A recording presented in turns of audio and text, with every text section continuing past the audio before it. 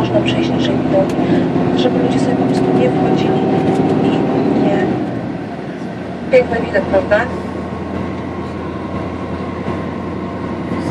Proszę Państwa, zmienię temat. Tutaj jest Dolina Wakowa. Jak Państwo zauważyliście, robimy zdjęcia, zdjęcia piękne. No i na ten teren jest objęty ochroną.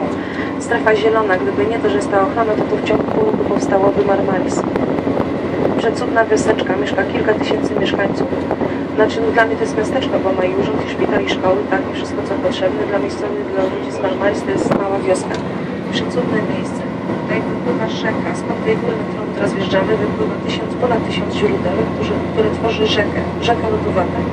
Ja tam może nogi też wyciąga, bo naprawdę 3-4 stopnie, nie, nie mniej, a największą atrakcją dzieciaków jest skakanie z mostu do tej rzeki. Tak cały dzień, czasem tak na nas skaczą. Zrobili, mm, żeby im to bo schodek nie ma barów. Turcy to miejsce trzymają dla siebie, bardzo dużo Turków przyjeżdża tutaj na sezon. Z morskich biur turystycznych ma tylko i tu i ma jeden hotel tutaj w Antarcie.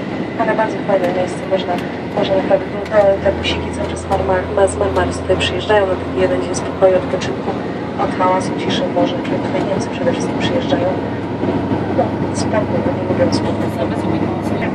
Świata podziemnego, podziemnego i kapłani, którzy urzędowali w tej świątyni, aby udowodnić swoje moce.